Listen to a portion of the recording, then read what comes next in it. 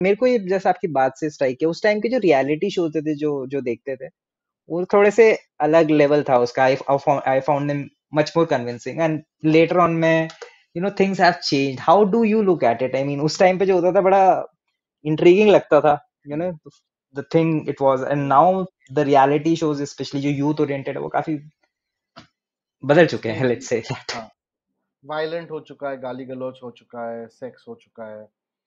तो इत्तेफाक की ये बात है कि जो इंडिया का फ़र्स्ट रियलिटी टीवी शो था, वो चैनल वी में आया था।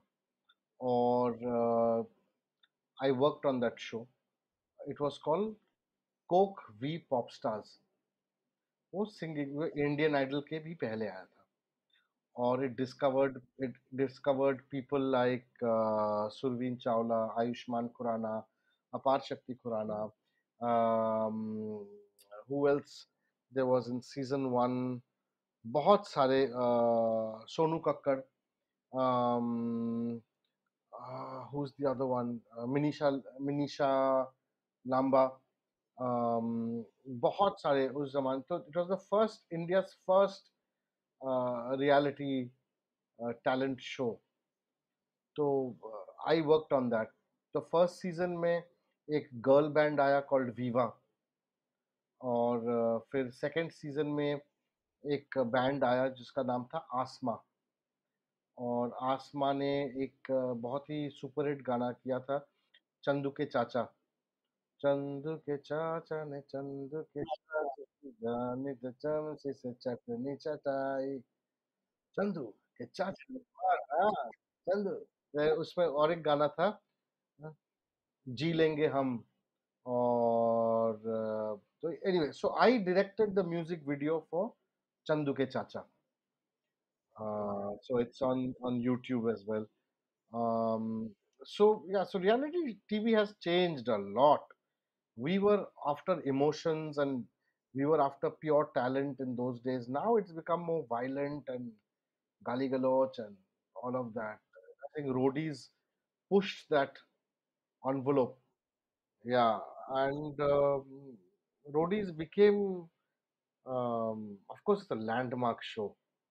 अभी किसी को बोलो एम टी वी रोडीज वो तो सब जानता है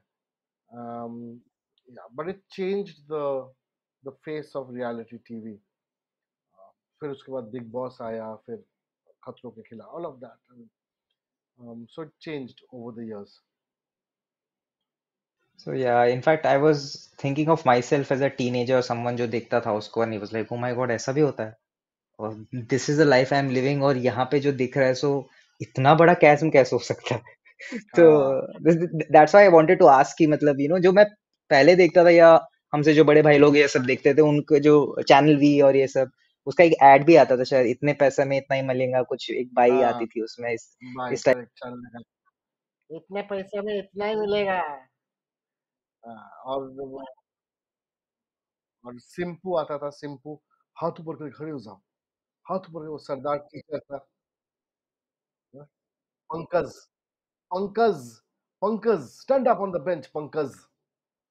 This is something जो अब ना YouTube के आर्काइव्स में जाके लोगों को देखना पड़ेगा but it was fantastic it's gold it's gold Correct. And that brings me, sir, to this end of the conversation. And uh, personally, uh, thanks a lot for uh, you know coming on the podcast and telling us about these things. जो आई hope so कि जो सुन रहे हैं वो लोग ये book भी पढ़े और एक बहुत एक बहुत सिंपल वर्ड्स में जैसे आपने डिस्क्राइब किया जो आपकी अंडरस्टैंडिंग जो आपने देखा एंड uh, उसके उस उस बुक के लिए फिर मुझे भी रिसर्च करनी थी आपसे बात करने के मुझे भी बहुत कुछ जानने को मिला तो it has been a very great experience it has been a very good मैं भी शुक्रिया अदा करना चाहता हूँ। क्या हिंदी बोल रहा हूँ अचानक? हाँ मैं भी आपका है। देखो आप आप सही हिंदी के ट्रैक में लेके आए। इंट्रोडक्शन में तो मैं पता नहीं मैं अलग ही ट्रैक में था। आप सही खींच के लेके आ जा वापस आ जा